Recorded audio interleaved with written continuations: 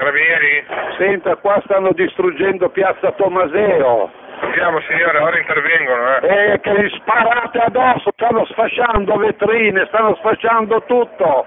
Sparategli addosso a questi bastardi! È ora di finirla!